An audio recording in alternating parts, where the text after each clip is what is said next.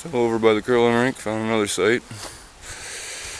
This one's hardly got any garbage in it, which is nice, but it definitely was a homeless camp. Except these ones kind of cleaned up after themselves. Which is good. Could have finished the job, but I know what it looked like before, and it did look worse.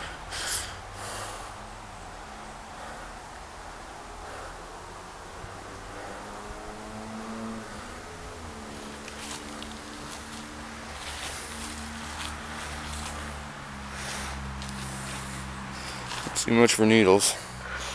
Lots of remnants of stuff to use with needles, but wrappers and all that stuff, I don't see it. Then again, it could be buried under the dirt for all I know.